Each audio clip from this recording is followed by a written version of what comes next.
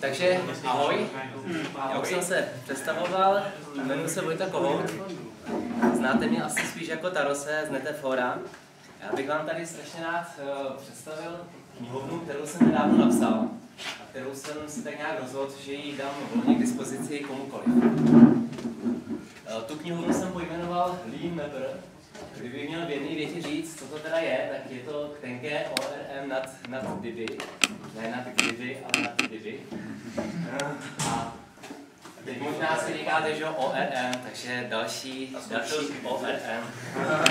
Zkoušel jsem ještě kdyby.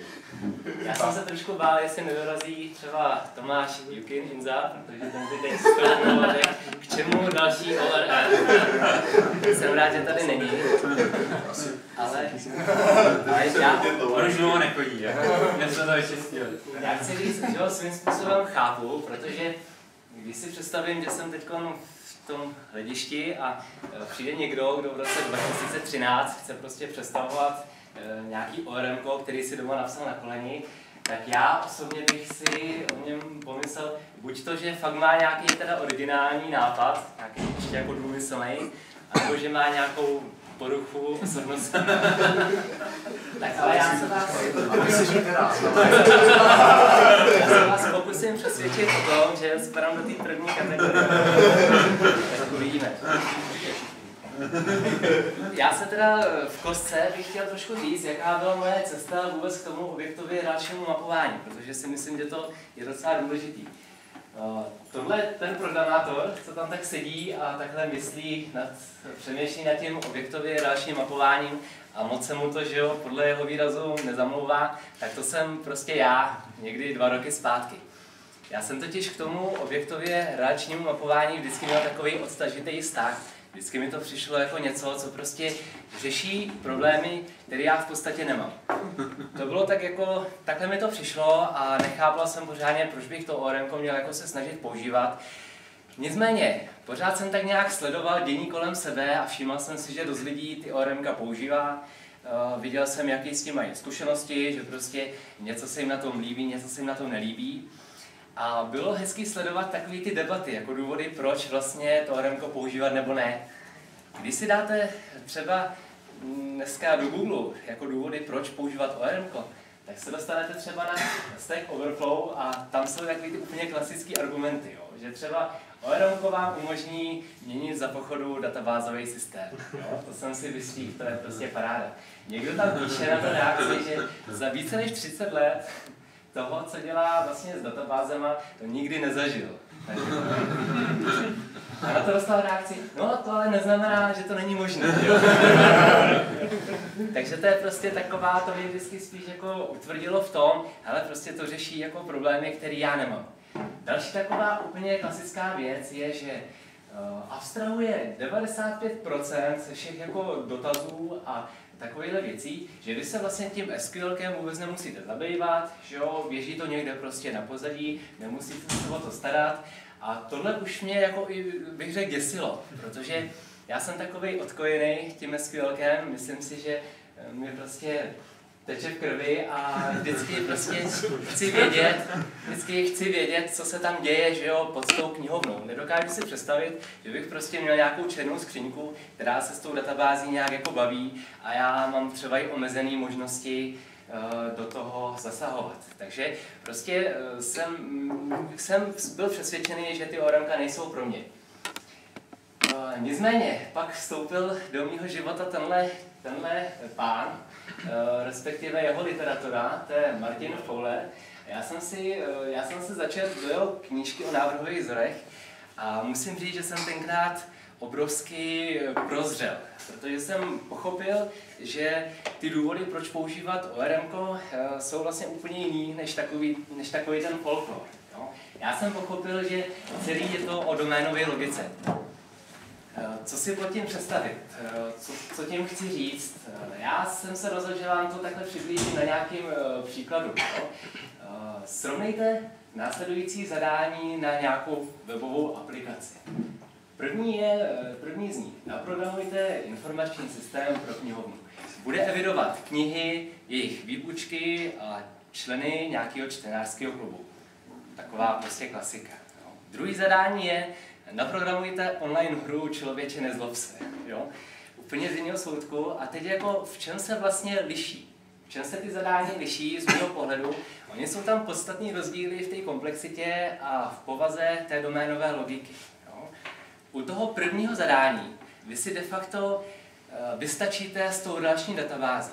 Vy prostě si vytvoříte tabulky, prokličujete ty tabulky navzájem přes nějaký sloupce, eh, že přes ty cizí klíče nastavíte nějaké chování, nějaké restrikce a vy jste v podstatě obsáhli v té relační databázi veškerou doménovou logiku, která, eh, ta aplik- kterou ta aplikace má. Jo. Maximálně tam bude nějaká kontrola prostě e-mailové adresy, kterou si dáte že jo, do nějakého formuláře a tím to pro vás hasne. Jo. Nicméně, to druhé zadání, to je už prostě mnohem zajímavější, vy v té relační databázi jste schopni že jo, určitě eh, udržovat nějaký stav té hry, kde je zrovna jaká figurka a tedy. Ale když potom někdo hodí kostkou, že jo, tak prostě ta hra má nějaký pravidla. Musíte prostě vědět, že když hodí tu šestku, že teda ještě jednou hází, nebo když ta figurka pak postoupí, někdo tam stojí, že to vyhodí, nebo jak to přesně je. A teď už prostě najednou vám ta databáze, bych řekl, jako nestačí relační. Vy prostě potřebujete, máte v té aplikaci nějakou další logiku, kterou potřebujete někam prostě umístit. A kam teda sní, jo? Já jsem prostě zpětně koukal, co jsem s tou logikou historicky teda dělal a úplně jsem se zděsil, protože jsem zjistil, že se válela všude možně po těch prezentérech, že se válela v šablonách, to bylo úplně uchvatný, opakovala se ta logika. Prostě jsem si říkal, jo, tak to je přesně, to je přesně ono, co řeší to ORM. Tak jsem si řekl, dobrý, fajn, takže to objektově relační mapování prostě má něco do sebe. Tohle toho bych řekl elegantně řeší, protože to ORM vám umožňuje mm, postavit hezký doménový model, hezký model té aplikace, který je opravdu robustní, eh, je, bych řekl, neprůstřelný a je takový, bych řekl, dobře čitelný, elegantní. Když se na něj za rok podíváte, tak prostě se nezděsíte, bych tak jako řekl. Tak jsem si řekl, dobře, tak teda jaký, jaký ten ORM framework použít, jo? Jsem si řekl, nebudu si přece psát něco svýho, teď jako to už řešilo takových lidí, že jo? Jako, já jsem teda si udělal takovou bleskovou rešerši a v podstatě jsem zjistil, že v PHP 99,9% ORM je založeno na návrhovém vzoru Active Record, což prostě pro člověka, který zrovna dočet Fowlera a přečet si prostě, že existuje nějaký vzor data mapper, tak jsem prostě se přesto nemohl přenést. Ten Active Record prostě považuji za překonaný. Tak prostě netrvalo moc dlouho, já jsem se dostal k doktríně, která bych řekl, že docela jako hodně frčí. Minimálně tady, co jsem koukal, podle zvednutých rukou.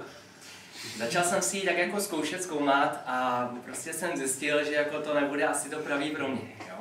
Já tady nechci eh, s tím ztrácet úplně eh, moc času. Já doktrínu uznávám jako výborný nástroj, komu prostě sedí, tak ať ji používá. Nechci říct, že by to byl nějaký špatný framework. Jo? Jenom bych řekl, že prostě mm, jde trošku jinou filozofii eh, než, než já. A co mě hlavně hodně odrazovalo, je, že já jsem sledoval ve svém okolí, že lidi dost často mají nějaký problém, který fakt v té, v té doktríně nejsou schopní z mého pohledu elegantně vyřešit. Jo?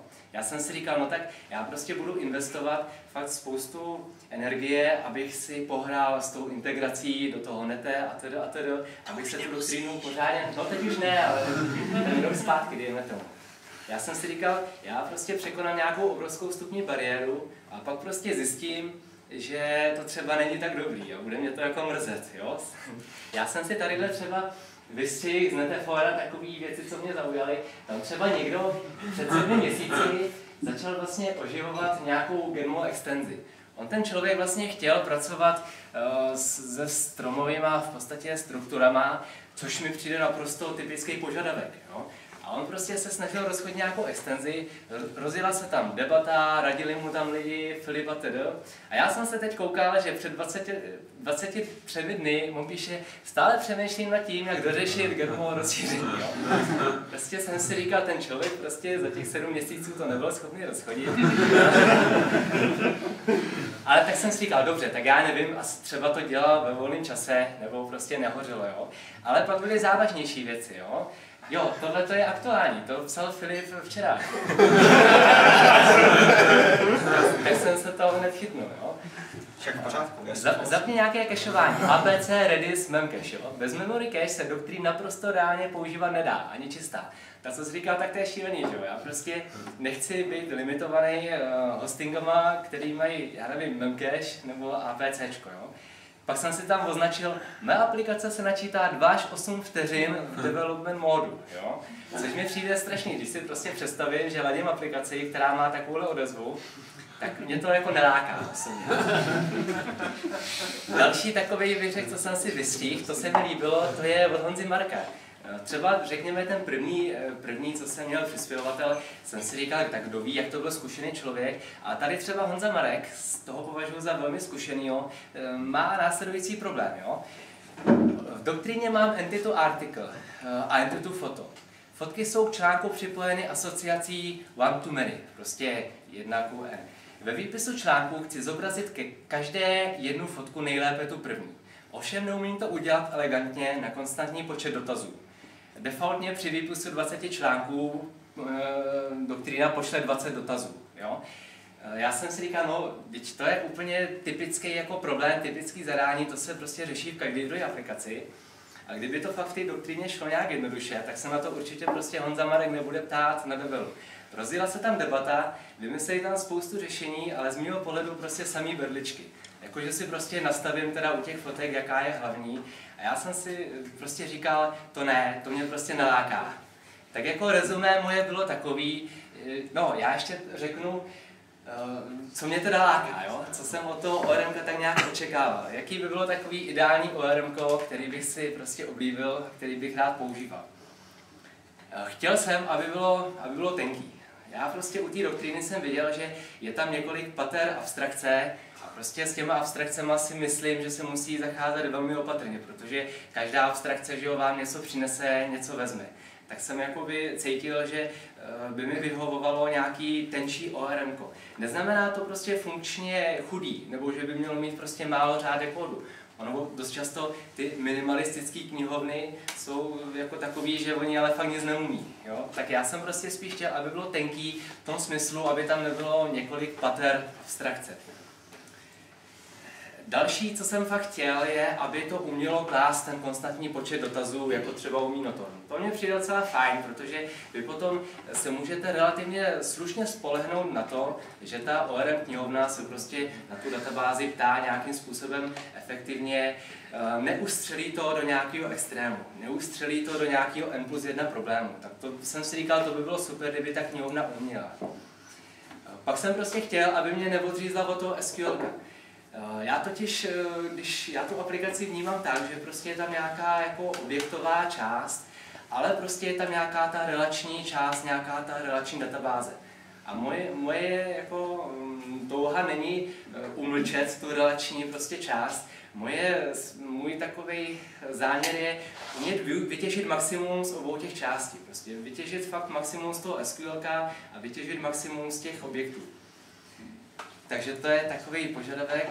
Jo, pak jsem chtěl, aby to fakt bylo expresivní. To mi prostě na doktríně vadilo, že se tam na můj vkus to spíše. Tohle je taková věc, já dost často, když jako něco vyvíjím, tak když jsou to třeba rutinní věci, tak že mi třeba hned naskočí to řešení, co je třeba udělat a strašně mě vadí, že to musím teda napsat. A čím prostě míň jako toho píšu, tím jsem fakt radši, protože je to hrozná bruda. Psát, jako bych řekl, takový ty slohový práce v tom novém kódu. Tak to jsem si říkal, by bylo super, kdyby to bylo expresivní ten nástroj. No a pak jsem samozřejmě chtěl, aby si to fakt poradilo, aby to bylo robustní, aby si to poradilo se vším, co prostě, s čím se běžně setkám. To jsou um, třeba problémy týkající se lokalizace, jsou to nějaké stromové struktury, které můžou být že jo, v databázi různě uložený, Chtěl jsem, aby si to poradilo třeba ze situací, kdy mám jednu entitu persistovanou ve více tabulkách v databázi, kdy to takhle rozkládám. Potom jsem teda chtěl, aby to bylo postavené na nějakým ověřeným DBAL. To jsem jako chtěl, protože třeba jsem používal taky chvíli Netted Database a fakt jsem bojoval s tím, že tam bylo hodně chyb a neskutečně mě to štvalo. Opravdu prostě mě to odradilo. Dneska už je to asi lepší, myslím si, že určitě je to lepší. A já jsem si prostě říkal, tak kdybych prostě nějaký takový nástroj měl používat, nechci trávit čas hraváním se vnitřnostech, ale prostě chci, aby to fungovalo a to DBA, jo, aby prostě bylo ověřený, což úplně geniálně splňuje že? protože Diby je fakt stabilizovaná knihovna, která si myslím má vše, co je jako zapotřebí. A no, svým způsobem naštěstí už se nějak nevyvíjí, protože ono už tam není moc, si myslím, co přidávat. Tak jsem si říkal, kdyby to prostě bylo na Diby, tak by to byla bomba. Jo, a pak jsem taky chtěl teda, aby to prostě bylo samozřejmě výkonný, aby to nebyl nějaký zabiják a aby se to obešlo bez nějakého masivního kešování. To mi trošku vadí, už třeba, já chápu, že eh, lecos je třeba kešovat, ale pak vznikají takové ty chyby, mně tady něco nefunguje, odpověď je, promaž si cache, jo, promaž si ten. Jo, zabralo to, super, děkuji. Jo. A teď se to prostě zopakuje dokola. Já jsem si říkal, kdyby se prostě ten nástroj obešel bez těch keší, tak by to bylo úplně super. No a rezumé bylo takový, že jsem se teda smířil s tím, že prostě to ORM žádný jako nenajdu takovýhle, že prostě budu se muset obejít bez něj. Tak jsem v podstatě psal nějakým způsobem ty aplikace dál. Dával jsem si pozor, aby se mi ta doménová logika neopakovala, nějaký jako návrhový vzory jsem používal. Ale mě to prostě potom nedalo a zrodil se mi takový nějaký koncept v hlavě, který jsem si říkal, to by mohlo fungovat, to by mohlo být prostě uh, řešení těch mých problémů. A někdy letos v Dubnu, nějak koncem Dubna jsem začal, jsem začal prostě uh, experimentovat. To byla fakt taková hříčka, já jsem prostě, když se podíváte na GitHubu na ty komity, tak já jsem úplně první komit, tam je přesně z toho 19. dubna a já jsem pak nejdřív si experimentoval s takovým tím notormovým čtením a tak. A až se to prostě vyvíjelo, jako jsem říkal, ty, ono to docela jako funguje, ta architektura, ono to asi nebude mít žádný úskalí, tak jsem to dostal do nějaký verze 1.3 a pak jsem to teda vypustil ven na Leteforu což zpětně hodnotím jako eh, vynikající počin, protože uh, najednou přišli lidi, kteří to začali uh, jako testovat a přišli s úplně novýma pohledama, s úplně novýma problémama a bylo super, že ta knihovna ještě nebyla tak daleko, aby se tam nedali udělat nějaký razantní, radikální změny. Já jsem tam prostě uh, v důsledku um, toho, co jsem jako zjistil, udělal pár radikálních změn, který... Někdo chtěl to a vás jako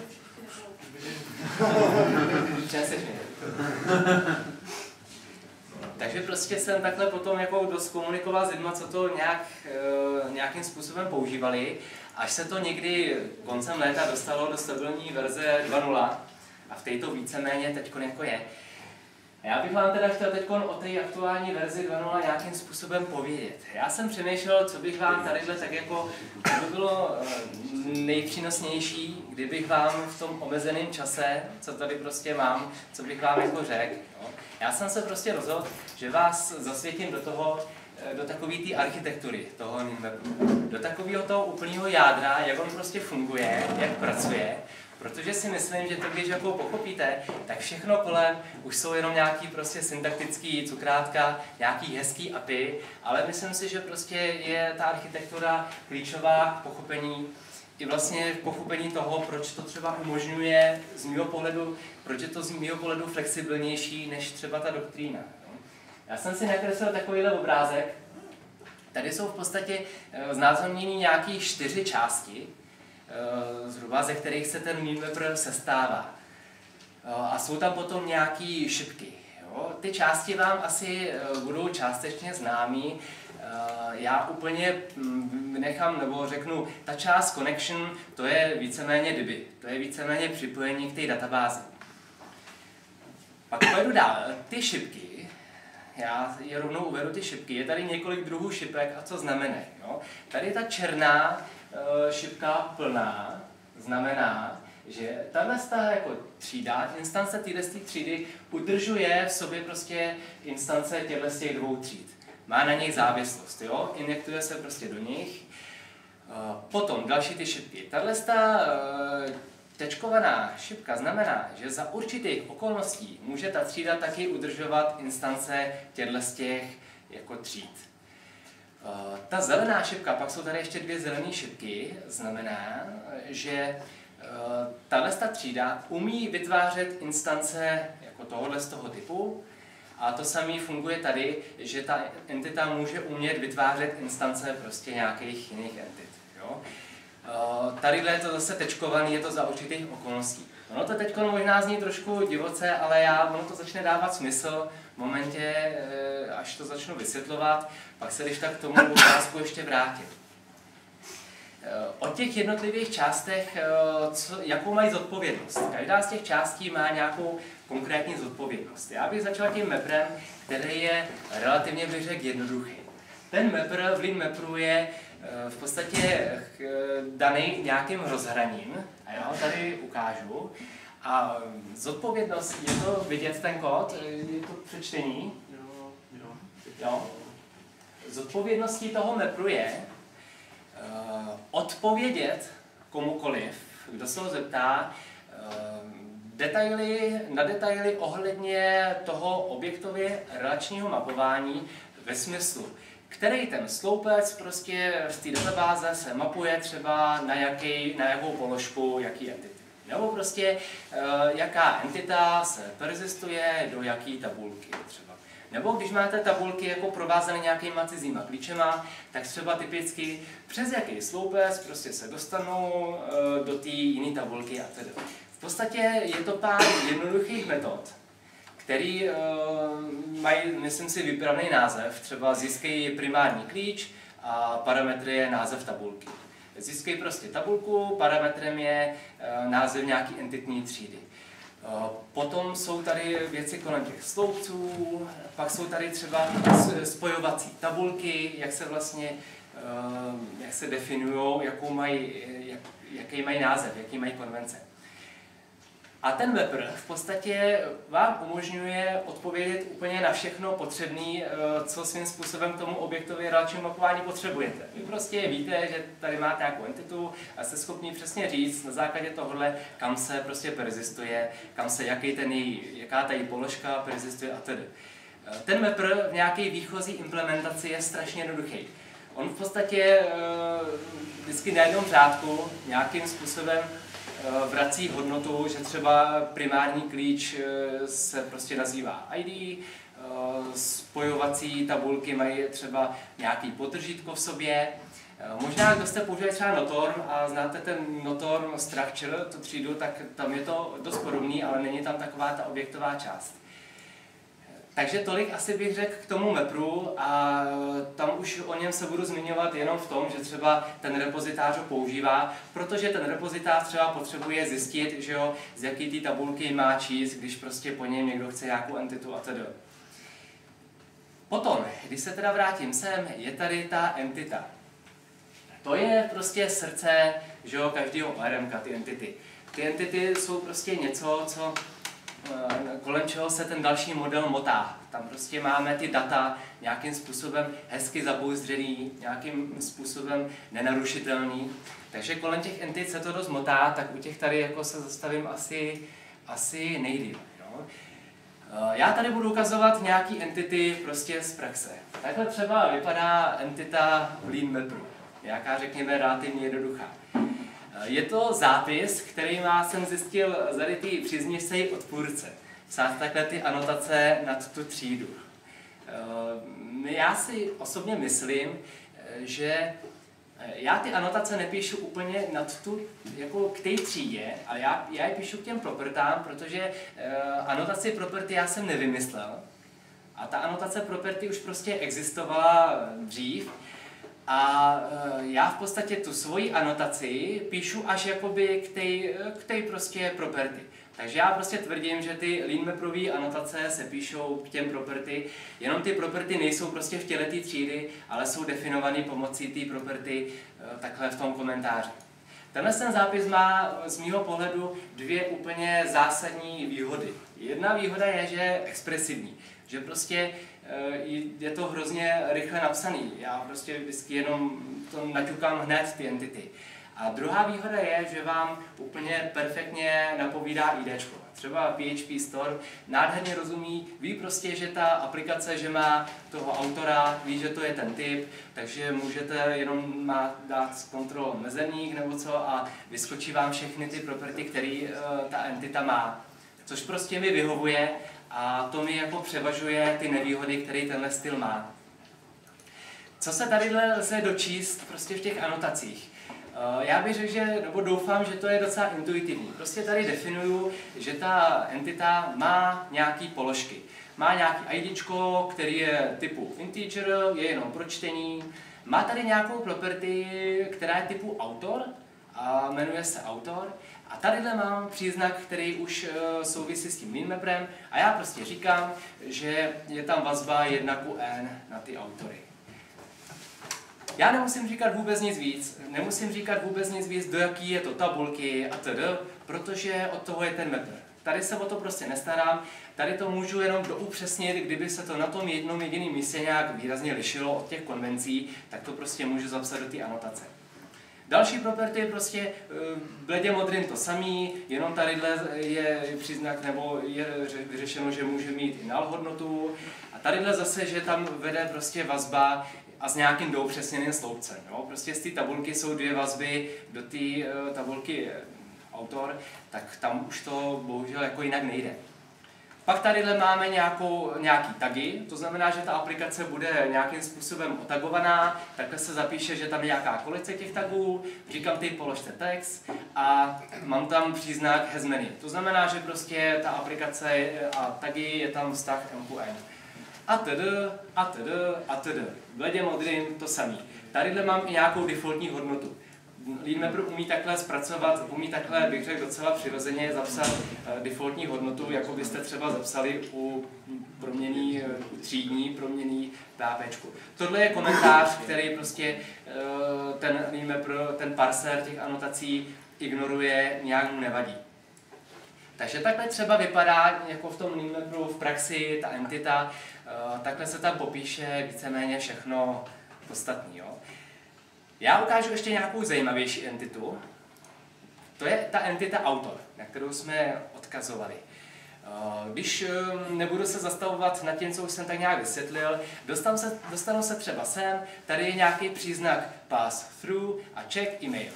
Tohle znamená, že když prostě čtu nebo zapisuju do téhle položky, takže se to prožene nějakou prostě metodou, která je v té uh, entitě a která mi ověří validitu té e-mailové adresy. Tak to je třeba takový jednoduchý způsob, jak jako bych řekl jednoduše uh, zapsat nějaký základní doménový pravidla. Je to jeden prostě z mnoha způsobů. Samozřejmě by tady šlo třeba udělat, aby se to použilo jenom při zápisu do té entity, nebo při čtení z ní, nebo aby se při zápisu použilo něco jiného než při čtení a tedy. Tadyhle bych rád přešel k něčemu zajímavějšímu. Všimněte si, že tahle entita nemá prázdný tělo. Ona prostě tam něco má.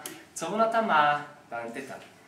Ona tam má nějaké takové složitější věci, které už prostě v těch anotacích eh, nejdou nějak jednoduše vyjádřit, nebo prostě Eh, myslím si, že to už by nebylo vhodné vyjadřovat v těch anotacích. Ty anotace vám vystačí u těch entit u 98% řekněme položek, ale občas, nějakou, prostě nějak, občas je nějaká speciální. Ještě chci říct takovou vsuvku, že ty anotace, že by se úplně mohly vypustit. Vy si můžete napsat entitu, která bude mít uh, ty gety, setry, jak jste třeba zvyklí, nemusí mít ani jednu anotaci, ale prostě upíšete se. Bude to prostě, ta třída bude třeba 30krát delší na počet řádků. Proč tady mám tyhle ty speciální? Já tady mám eh, nějakou teda jako položku, mám ji tady nedefinovanou, to z toho důvodu, aby mi to ID napovídalo, to je prostě hrozně příjemný, abych tam viděl tu položku. A tady mám jenom nějaký příznak prostě use methods, což znamená, že ta položka je prostě definovaná přes jako nějakou speciální metodu. Co těma položkama chci tady říct zrovna? Uh, tadyhle třeba chci číst nějaký integer, já chci, abych u toho autora měl prostě položku, ve které budu mít kdykoliv k dispozici počet, uh, počet knih, který napsal. Jo? Chci prostě, abych to tam měl jako položku ke čtení, abych si kdykoliv velmi jednoduše mohl k tomu přistoupit. Já to realizuju tady v této metodě. Ta implementace by mohla být lepší, tady se v podstatě vytáhne něco z databáze, pak se nad tím udělá count, vrátí se prostě už ten skalární počet, to by šlo líp, ale pro tu demonstraci to bohatě stačí. Co je tady ten row?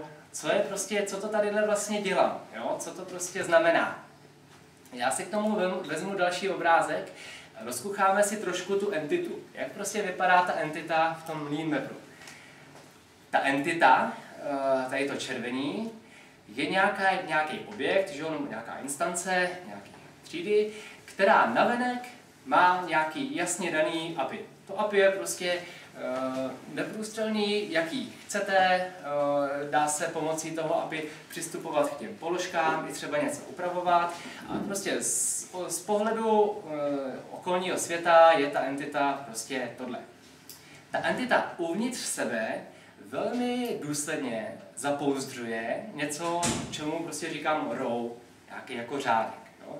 Ten row, jak už ten název trošku naznačuje, je svým způsobem něco jako row. Eh, zajímavý je, že v tom row eh, jsou ty samotné data, ty entity, a jsou tam v té relační formě. V tom row prostě jsou uh, ty vazební sloupce s těma IDčkama vazebníma. Prostě když uděláte nějaký select nad tu tabulku, tak uh, získáte že jo, nějakou jako relaci, nějaký prostě třeba řádek s těma sloupcema hodnotama, tak to je víceméně ten row. A dalo by se teda říct, že to objektově relační mapování se odehrává v té entitě. Že vlastně ta entita má ty položky a ona ví, buď to pomocí těch anotací nebo pomocí těch metod, ona prostě ví, kam do toho row si pro ty položky sáhnout. Uh, tadyhle, ale když se vrátím zpátky uh, na uh, tuhle tu entitu, tak všimněte si, že ten row není úplně takový nějaký diby, diby row, jo? že on není úplně hloupý. On prostě ten row se chová spíš jako třeba active row z Nete Database, On umí nějakým způsobem traverzovat eh, po té databázi. On umí prostě načíst eh, nějaký související data, který prostě potřebuje. Tady to třeba využívám. Já prostě uh, chci vědět uh, počet těch autorů, který, teda počet, uh, počet uh, aplikací, který prostě ten člověk naprogramoval, tak já prostě mám ty data v tom row o tom člověku, tak já najdu prostě aplikace, které uh, ukazují na toho autora, ono mi to vrátí zase nějakou, jako, uh, nějakou relaci a řeknu, kolik jich teda je. Jo?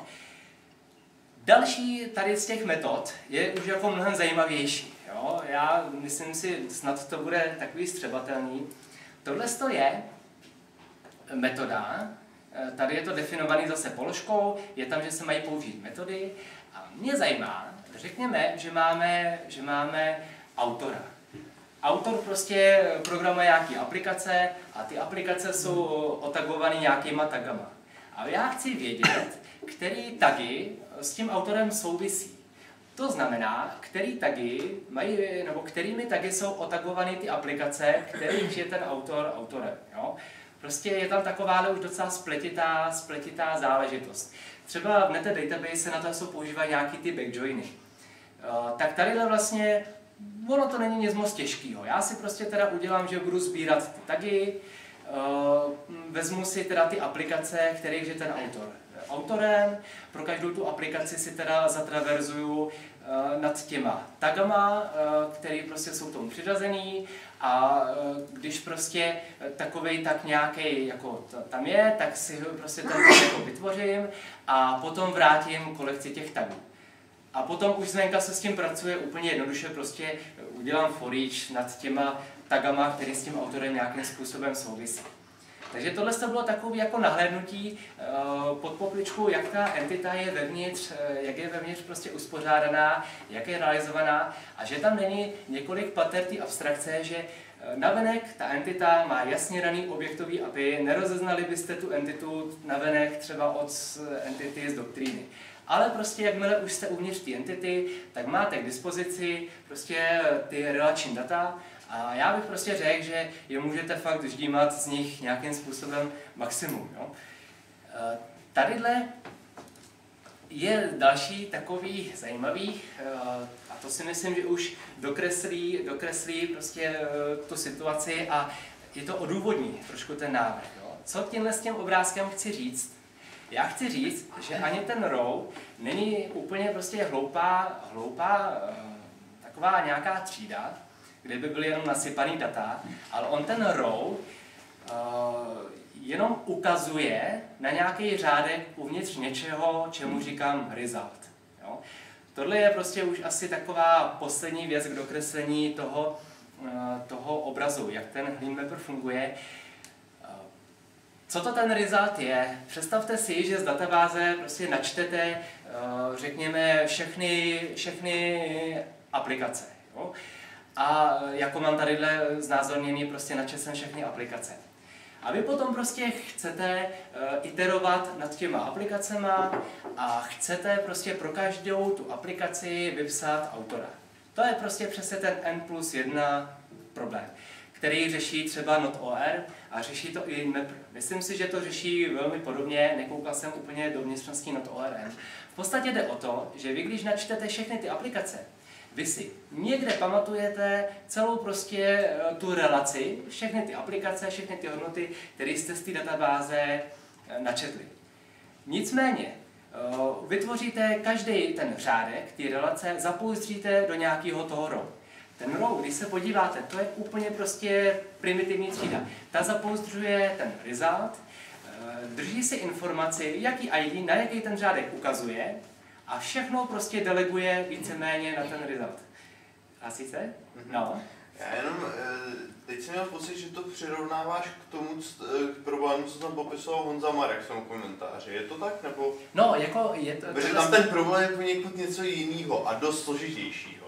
On vlastně řeší to, že když jako iteruje nad těma, nad těma, já nevím, co tam měl, článkama, že není schopný získat první, třeba nejaktuálnější fotku pro každý ten, eh, pro každý ten článek. No, tohle je totiž problém i, i v SQL samotný. No, uvidíš, uvidíš, že ne. Já vím, musíš tam potom ty uniony dělat union, ale no, se znáš, jo, a to ten pro přesně řeší, jo. Ono, jo. ono je to docela takový zběsilý, jo. Eh, ono, spíš když si třeba potom pracujete, tak to jí zdá smysl, jo. Tady jde o to, že teda nad tím resultem se pro každý ten řádek vytvoří ten row, ten row je jenom taková obálka, která ukazuje na nějaký ten řádek a to se potom ještě obalí tou entitou a jde to prostě ven a používá se to. Jo?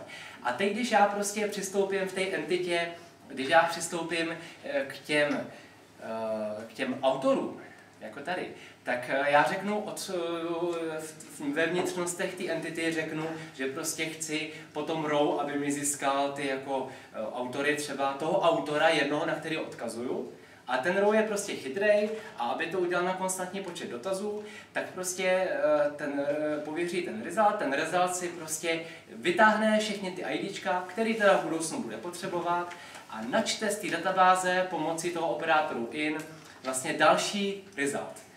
On vlastně načte ten další, vytvoří další result, který tam prostě někde klade, pro něj se zase vytvoří ty row, nasází se to do těch entit a teď se na tím iteruje. Vy prostě iterujete já vám za chvíli ukážu, jak to v praxi funguje.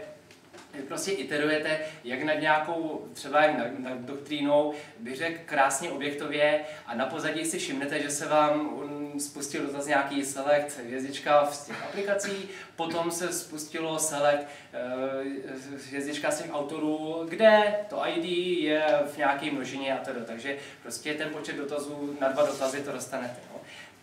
Tohle uh, fungování je takovým významným důvodem pro to, že ten lean mapper prostě je navržený tak, jak je navržený. Eh, nefunguje to tam tak, že by, eh, že by se prostě natáhly data, pak se nějakým hydratovala nějaká entita a to, do. to ne, prostě je tam ten aktivní row, který to jakoby umí tohle. Přemýšlel jsem, nenapadl absolutně žádný jako lepší způsob, eh, jak prostě, jak prostě udělat uh, tu architekturu nějak jako míň jinou, než prostě všechno jiné, co jsem kde viděl.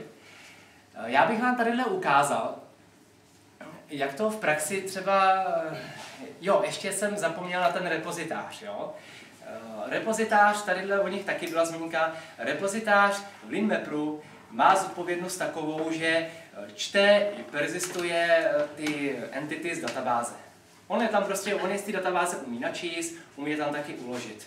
Je spousta výkladů toho, co prostě e, návrhový vzor repository znamená. Já vím, že nejsem úplně kompatibilní se všema, jsou tam určitý dilemata. Já jsem spíš přemýšlel, že bych to pojmenoval nějak úplně jinak, že bych prostě vymyslel nějaký úplně nový termín, abych neprovokoval, že někdo řekne, ale to není repository a to je, já nevím, to je DAO nebo nějaký manažer a tedy. Prostě je to tak, jak to je. Řekl bych, že je to řešeno relativně eh, jednoduše a nevím důvod, proč by ten repozitář, když umí získávat ty data z té databáze, proč by je tam neuměl taky persistovat nebo mazat z té databáze. Úkolem toho repozitáře je vytáhnout prostě z té databáze eh, primárně tu relaci, jakou prostě chci. A to se potom obalí že, těma, těma rezultama a teda, a teda, což se děje něco hodně na pozadí. Jo? Vy většinou v tom eh, repozitáři máte eh, nějaký SQL příkaz přímo v DB, který vám třeba sežene ten řádek a potom už jenom řeknete, vytvoř mi z toho řádku entitu. A on už prostě ví, jakou entitu podle toho, podle nějakých konvencí, podle toho, jak se prostě jmenuje ten repozitář, anebo podle nějakých anotací. Prostě v praxi je to strašně jednoduchý. Dá se to samozřejmě přetěžovat, dolazovat, ale v praxi to vypadá takhle. Takže to je nějaká metoda, která mi prostě načte tu entitu. Tady je nějaká metoda, která mi načte všechny, všechny ty jako entity z databáze. Já prostě udělám zase nějaký dotaz do databáze, fečnu všechny ty řádky a řeknu, vytvoř mi z toho prostě entity. Jo? Většinou vám stačí nějaký base, base repository, nějakých pár takovýchhle metod. Ono v tom Lean Map repository už jsou třeba metody pro tu persistenci a to vám de facto potom v 90% stačí. Já teď tadyhle ukážu, trošku, jak to jako funguje eh, v praxi, když třeba teda nějakým způsobem s tím lean jako pracujete, co se děje pod tou pokličkou, co se prostě děje na pozadí. To si myslím, že pak už to bude pochopitelný, si myslím, velmi, velmi slušně. Snad. Když mám nějaký uh, repozitář pro ty aplikace a zavolám find all, že chci všechny, co se prostě stane? Repozitář načte všechny ty aplikace z databáze. To je si myslím, prostě načte z té tabulky ty data. On vytvoří novou instanci result a do toho zapouzdří ten DB row, který prostě získá. Takže tím nám vzniknul ten result, který se nezahodí, ten tam prostě e, celou dobu figuruje, kdy se pak traverzuje jinam, aby se klad ten konstantní počet dotazů. E, pro každý ten řádek toho resultu vytvoří e, tu instanci row, který jsem se bavil, to bylo tam, já když se vrátím, tak tadyhle vlastně ten row eh, vytvoří pro každý ten řádek. A potom ještě uh, zapouzdří ty row do těch patřičných entit. A potom vrátí ten výsledek. A vy máte to, co jste v podstatě zvenka potřebovali, vy prostě máte kolekci těch entit s těma datama, s těma položkama a někde tam prostě v hloubi je ten eh, row a ten result, takže když potom přistoupíte třeba k těm autorům, tak se tam prostě odehraje to efektivní dotázání si do té databáze. Tadyhle je prostě příklad, když třeba udělám eh, find jenom jako jednoho, když si jenom jednu tu entitu, jo. Děje se něco strašně podobného. Vytvoří se, prostě zase se vytáhne ten záznam z té databáze, vytvoří se ten result, byť pro jeden jediný záznam, obalí se to tím row, dá, vytvoří se, zobalí se to tou entitou a jde to prostě ven. Je to v podstatě furt jedno a to samé. Důležitý je, že eh, ten repozitář eh, si všechny potřebné věci uh, tahá z toho mapru. On jako, když prostě potřebuje vědět, uh, jakou teda tu entitu má vlastně vytvořit, jo? tak on se prostě zeptá toho mapru, řekni mi prostě, jako, jak se mapuje prostě tahle tabulka, jakým stylem a ten mapr mu to prostě řekne a on to použije. Zajímavá věc je to traverzování, že? To je si myslím taková už věc, která není úplně triviální. Uh, podstatě pak projdeme ty aplikace, vypisujeme eh, ty titulky a potom projdeme, eh, projdeme eh, Jo, tadyhle to měly by možná spíš nějaký tagy, ono tam není, dejme tomu, že by ta aplikace jich měla prostě víc těch autorů, dejme tomu, jo. Co se bude dít? Prochází se ta kolekce těch entit, jo? což si myslím, že je srozumitelný, prostě se nad tím iteruje. Když se přistoupí k tomu názvu té aplikace, tak prostě ta entita uh, se uh, přečte z toho row, co uvnitř má, tu hodnotu, kterou potřebuje. To, jakou, na jakou hodnotu to má namapovaný, to prostě zase zjistí z toho mapu. Když pak přistupuje, ta, uh, když se pak přistupuje k té položce autor, tak ta entita zjistí, že jde o položku, která má, tadyhle by bylo has, has many, tady mám chybu, jo, a to nevadí, že má prostě ten vztah. On proto zjistí, jo, ta entita, já to tím hezmeny teď komplikuju, ale to je jedno, to je jedno. On prostě zjistí, v jaké tabulce se nachází teda ty data, eh, pomocí toho metru, který ta entita v tu chvíli jako obsahuje, zjistí, kde se nachází ty data, eh, zjistí si název toho vazebního sloupce, přes který mají a tedy, a z toho row si potom vytáhne prostě ty data, který potřebuje. Tadyhle zase se zmiňuji o tom, že to jde až do toho resultu a ten result prostě udělá to, že získá vlastně eh, všechny ty data, že jo, který se, nebo všechny ty autory, které se při té iteraci ještě budou uh, používat, aby prostě zase to bylo na ten konstantní počet dotazů. No a potom teda zase vznikne ta nová instance toho resultu, ve které budou ty autoři a tomu jako co, kdo o to žádal, tomu row, vrátí ten nějaký konkrétní row, který prostě zrovna byl pro tu aplikaci relevantní. A ta entita zase ten row potom obalí tím autorem a v podstatě to se nám vrátí e, takhle v té proměny autor, prostě ta entita autor. Uh, možná to je fakt jako, nevím jak dalece je to takhle pochopitelný, když to vysvětluju, jo? do jaký míry možná třeba při druhém jako pročtení by to zapadlo líp. Já si myslím, když se do toho žiju, že to asi je takový trošku guláš. Eh, co se děje při té persistenci? Takhle třeba vypadá persistence. Eh, my vytvoříme nějakou entitu, vytvoříme ji úplně bezduchoprázdnou, řekneme jí, eh, jaký hodnoty má v nějakých položkách. Dá se to samozřejmě nejdřív vytvořit entita, pak, tepr- pak potom teprve přiřadit ty hodnoty. Tohle je taková zkratka. A potom nad tím repozitářem tu entitu zapersistuju, čím se mi vytvoří v té databázi. Co se třeba děje zase na pozadí, což by mohlo být docela zajímavý. Když se vytvoří ta nová entita úplně takhle ve vzduchu prázdno, tak ona prostě nemá jako že jo, nemá žádný mapper, žádnou, žádný připojení na databázi, ona nemá prostě nic. Ona si v sobě teda vytvoří nějaký prostě prázdný ten result a pak ten obalí to tím row, aby prostě mohla v tu chvíli někam si schromažďovat ty své data. Aby prostě ty data měla kam dát.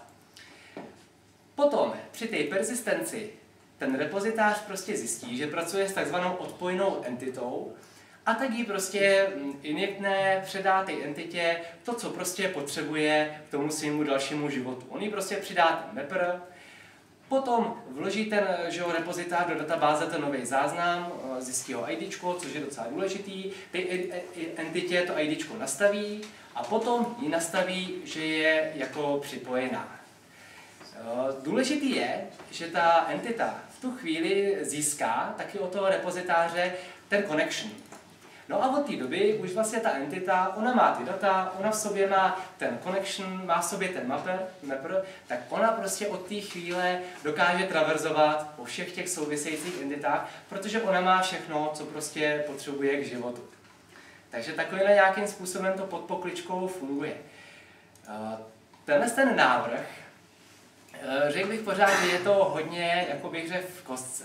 Tenhle ten návrh, já jsem si vědomý toho, že je takový Eh, nešení, že je eh, takový eh, nepodobný čemukoliv jinému, s čím jsem se setkal. Tak já jsem si prostě nebyl moc jistý. Jsem si říkal, no, musím si s tím pohrát. Čekal jsem, že narazím na nějaký překážky, na nějaký prostě důvody, proč, na nějaký limity, proč takováhle prostě věc nebude fungovat dobře.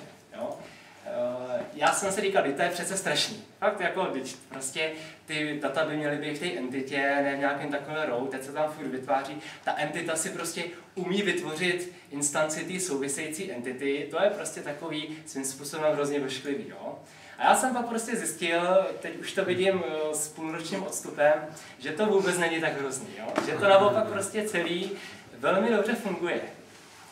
Eh, na, eh, já teď bych už trošku bilancoval, protože půl roku je ten mapper venku. Půl roku ho někdo používá, já ho intenzivně používám, pár lidí ho používá, nějaký chyby se vyladily, ale hlavně máme prostě Eh, na tom neteforu, že jo, takový už docela nabobnalý vlákno, kde prostě lidi přišli s různýma věcma, co by potřebovali vyřešit. A to, to byl fakt prostě křest ohně, protože oni si vymysleli všemožný eh, překlady, všemožný, já nevím, traverzování, eh, všemožný stromové struktury a nikdo nepřišel s ničím, jo, zatím, na čem by si prostě tím Lean Mapper vylámal zuby co by prostě tam nešlo nějakým způsobem hezky z mého pohledu namapovat, takže prostě ta struktura té databáze je, eh, bych řekl, taková jako optimalizovaná, eh, API těch entit a toho modelu je taky prostě ideální a krásně se to prostě vždycky povedlo namapovat. Pořád čekám, jestli prostě někdo přijde s něčím, na čem si jako vyláme zuby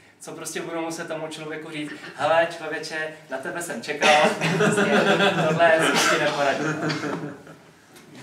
Co bych řekl jako ještě co víc, jo? mně přijde, že se ukázalo, že většinu těch věcí ta architektura řeší dost jako přímočaře. Eh, docela bych řekl tak jako na pár řádků a bez nějakého bez nějakých berliček, bez nějakého zná, takového znásilňování. Co všechno se prostě řešilo? Řešily se překlady. Takový to, že máte třeba uh, nějakou hlavní tabulku, máte třeba page, a potom máte někde uh, tabulku s překladama, máte tam nějaké provázání a vy samozřejmě s tím chcete pracovat jako s jednou entitou, prostě máte nějakou entitu, nějakou stránku a chcete tam mít ten obsah, titulek v tom jazyce, který vás zajímá. Nechcete prostě někam přeskakovat do jiné entity, ne. To je prostě jedna entita, jenom v té databázi je to prostě uložený ve více tabulkách. Řešilo se, to jsem taky teď naznačil, to mapování jedné entity do víc tabulek. To prostě ten LeanMapper bych řekl, eh, zvládá velmi, velmi jako bravurně. Prostě jak to spojit, tak to potom persistovat. Eh, řešilo se třeba single table inheritance. Eh, to znamená, že v jedné tabulce máte třeba produkty a podle nějakého typu sloupce vy potřebujete potom mít trošku jiný entity, který mají nějakého, řekněme, společného předka, ale prostě pak mají nějakou specialitu uh, samostatnou. Tak tohle třeba taky ten LeanMapper krásně, bych řekl, velmi jednoduše řeší. Closure table. To, eh, já nevím, asi Častamír Svora eh, tak jako prověřil a zjistili jsme, že prostě ten LeanMapper se dá velmi jednoduše přímočaře použít pro namapování stromové struktury, která je v databázi uložená pomocí Closure Table, což jo, už docela to jsem nevěřil, že to prostě takhle zafunguje. Tak, uh, zajímavý takový téma. Tadyhle ty věci, co jsem vyjmenoval, když se ještě vrátím, tak si možná to... Můžu? Jo, můj.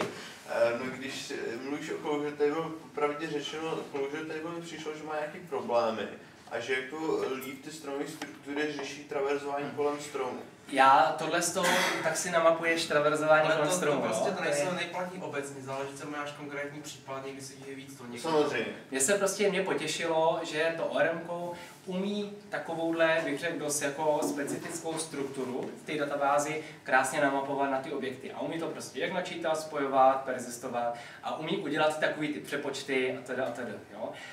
Pro traverzování kolem stromu by šlo prostě to samé. Já jsem reálně použil někde takovýto path enumeration, že máš v nějakém sloupci, že jo, ty IDčka třeba slashem oddělený, tak to jsem třeba měl zrovna já namapovaný, jo, někde taky to prostě fungovalo velmi slušně. Tak třeba uh, ty překlady, nebo když je to ve více tabulkách, jak se to prostě dělá, to, co jsem tady eh, ukázal, to nezní, že by na to mělo stačit. A ono to taky nestačí. Ale ten Lindbergh má jednu takovou prostě věc, který já říkám filtry. Ty filtry mě svým způsobem tak nějak napadly, uh, když mě napadly, tak jsem si říkal, to by bylo dobrý tam jako mít, to by mohlo prostě eh, využít potenciál toho Divi a toho SQL. Netušilo, netušil jsem v ten moment, jaký obrovský užití ty filtry ve výsledku budou mít. Co to prostě jsou ty filtry, co to je za kouzlo. No?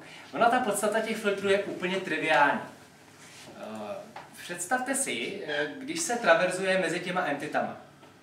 Když já mám prostě ty aplikace a chci prostě ke každé vypsat toho autora, tak ten mapper si ten dotaz vygeneruje na pozadí. Jo? O tohle ten dotaz se ani tak nemusíte starat.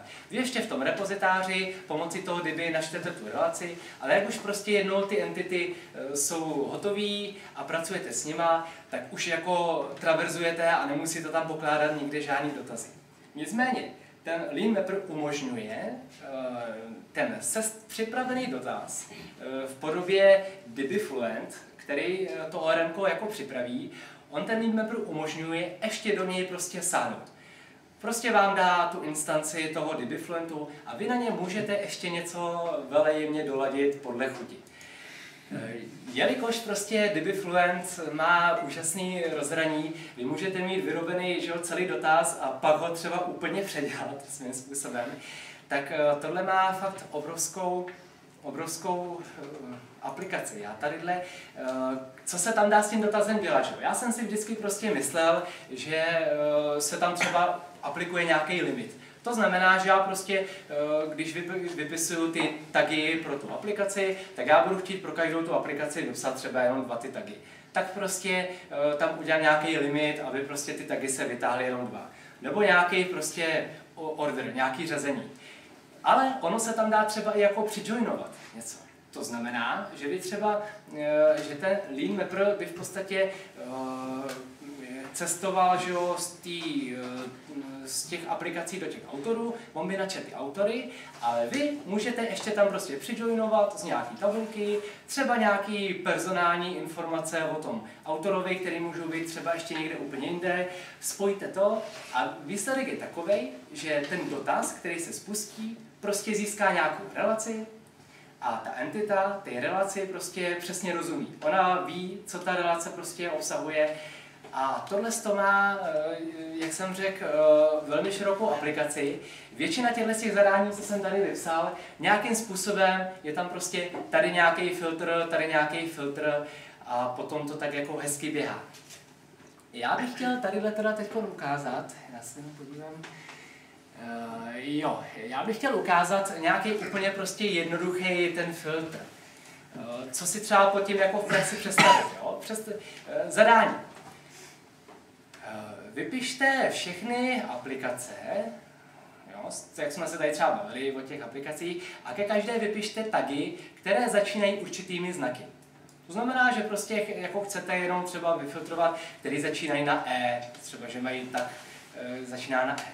Já si v tom connectionu zaregistruju filtr. Ty filtry uh, se registrují v connectionu, protože ty filtry to je něco, co strašně úzce souvisí prostě s tím kdyby s tím SQLkem, tam ty filtry přirozeně patří. Oni původně ty filtry byly jenom nějaký statický volání, ale když se ukázalo, jaký je jejich potenciál, tak jsem to prostě předělal ten systém, že se takhle registrují a obrovsky se zvýšil potenciál těch filtrů. Já si ten filtr nějak poděluju, a ten, eh, tadyhle použiju uh, takovou definit, deklaraci, že prostě tam vytvořím anonymní funkci, která se potom bude používat. Ta funkce přijímá ten DB Fluent a potom přijímá nějaký parametr, což je prostě to, čím má začínat, začíná, začínat ten tag. No a když prostě ten parametr dostane, tak ten statement, to znamená tu instanci DBFluent, kterou ten name připravil, ještě obohatí o to, že ten name uh, toho tagu uh, začíná prostě tím stringem. A to je prostě všechno. A jak se to potom v praxi použije? Já tadyhle mám teda tu aplikaci, a ta aplikace, já tadyhle jsem vynechal takový ty položky ID, ID a td. A tadyhle mám ty tagy, mám, že, že tam bude kolekce nějakých tagů, že má teda ta aplikace jako hezmeny těch tagů a tadyhle mám, že se prostě e, příznak filtr, že se při tom traverzování použijou nějaký ty filtry tadyhle mám, že se použije ten filtr Starts with. Možná se ptáte, co je tady prostě to, eh, toto svislítko. Zrovna když se traverzuje hezmeny, tak se jde přes dvě tabulky. A ty filtry, oni se můžou, ono se do toho příznaku může zapsat víc těch filtrů, oddělují se čárkama a když se traverzuje přes více těch tabulek, tak eh, tím svislítkem se dá určit, že eh, při tom prvním načtení se použijou tyhle filtry, při tom jako další jiný filtry. Jo? A já tadyhle potřebuju omezit vlastně název těch tagů až eh, při tom druhém mm, pokládání dotazů do databáze. Takže takhle jsem si nadefinoval ten filtr a pak už jedu. Mám prostě ty aplikace, načtu si všechny, iteruju nad nima a pro tu aplikaci já zavolám metodu getText, jo? to je taková zajímavá syntaktická záležitost. Já bych normálně napsal jenom text, tag, to ags, jo. Iteroval bych nad těma tagama, ale to bych tam nemohl přidat nějaký parametr, který já tam potřebuji. Proto já použiju volání getText a předám tam ten parametr, ten jako to písmeno nebo nějaký řetězec, na který má název toho tagu začínat a šup. A teď prostě eh, mi to vypíše názvy těch tagů a všechny budou začínat na E. A opravdu, když byste se podívali do té konzole, tak se prostě spustil dotaz, který obsahoval restrikci, že ty tagy musí být v nějakým, eh, ty IDčka těch tagů musí být v nějaký množině a zároveň prostě ty, ty taky musí, ten název musí začínat prostě na to E. Tohle je prostě taková strašně, jako bych řekl, stručná ukázka použití filtru. Jo? Zajímavý, eh, tady byl zajímavý postřeh, jo? Vy když třeba chcete pro, já nevím, pro ten článek, co psal Honza Marek, získat tu první fotku, ono to jde na ten konstantní počet dotazů velmi obtížně, protože eh, vy, eh, když uděláte třeba limit 1, vy potřebujete najednou načíst všechny ty fotky a e, když tam dáte limit 1, tak to zkazíte, protože vy získáte prostě jenom tu jednu fotku. Vy musíte uh, roz, rozpitvat ten in, kde jsou ty jednotlivé IDčka těch jako fotek, které se mají jo, načítat. A pro každou tou fotku udělá samostatný dotaz, tam dá ten limit jedna pro každou tu skupinu a pak udělat union all, union all, to se tak dělá. Všimněte si třeba Notorm to dělá, Meta Database to třeba neumí. Já když jsem to tak objevil, no, jasně. Ne. Co? Ne. Jde to dělat jedním dotazem bez union. Já, jsem, já to pak klidně se o tom můžu popovědět. Já jsem našel nějaký, kdysi kvůli nějakým podobným problému jinde a, a, jedno dotazové řešení, který nějakým krutým způsobem zneužívá group by. Jsou to prostě, já vím, že existuje ještě jedno, jedno řešení, které zase používá, já mám dojem, že používá nějaký nesymetrický join, že nevím, ještě jedno řešení jsem viděl, ale to mi přišlo nepoužitelné pro takovou automatizaci. Hlavně správný řešení na tohle jsou window funkce, které podporuje třeba Postgres. no, no, určitě. Jaký? Jaký? Window funkce. Window? Tam si můžeš jenom zadefinovat, že chceš prostě nějaký sloupeček a teď ti třeba window funkce row number. A teď ti očísluje ty, ty jednotlivé položky a můžeš si tam dát nějaký group by order, jako přímo v té window funkci. Takže ty potom si očísluješ ty jednotlivé uh, fotky k tomu a dáš si potom podmínku where row number je jedna. A těch window funkcí je tam spousta. Já bych ještě řekl, že třeba tohle vlastně má, když tady definujete uh, tu, tu vazbu, tak třeba, třeba u těch hezmeny vazeb, já když dopíšu tohle, když dopíšu takhle union, jo, tak jsem v podstatě řekl, že se tam má použít tato union strategie. Jo? To znamená, že se mi nemá položit prostě ten in a načíst ty data, ale že se mi mají položit ty dotazy a mezi nimi dělat ten union. Jaký to má význam? To má význam v tom, že já když potřebuji tam potom aplikovat nějaký filtr, třeba nějaký limit, který by mi ten klasický in prostě totálně rozbil, tak najednou mi to nerozbije. A tohle to si myslím, že eh, by asi řeklo jenom někomu, kdo třeba se s tím problémem přímo setkal. Jo? Jenom prostě, že ten minmapper takovýhle jemné věci řeší. No. Má to nějaký to Julion jináčí využití, než abys nasral do který nějaký s tou fotkou? no má, protože ty můžeš, že jo, eh, představ si, že ty potřebuješ, eh, ty potřebuješ načíst z databáze, že jo, najednou nějaký související data víš prostě nějaký IDčka, který jako potřebuješ, potřebuješ je potom nějak se, se skupovat a ty skupiny potřebuješ na ně, na každou tu skupinu aplikovat nějakou restrikci. Jo? No to, je, to bych ti musel ukázat na nějakých reálných ukázkách. Jo? Já jsem to párkrát tu Union použil, občas se mi stalo, že jsem něco takhle právě traverzoval, traverzoval a říkal jsem si, je, hele, tady, tady přesně se hodí ten, ten Union, prostě ten jiný jako styl ptaní se do té databáze a jsem si vždycky říkal, to je dobře, že to tam prostě je, protože bez toho bych asi musel vymyslet nějakou vedličku. Takže to, takhle jsem prostě ukázal nějaký ten úplně triviální filtr. Jo? Kdyby já chci eh, tady ukázat odkaz, eh, já pak ani někdo dám ty slajdy, třeba na fóru jsem, na fóru jsem uh, dělal...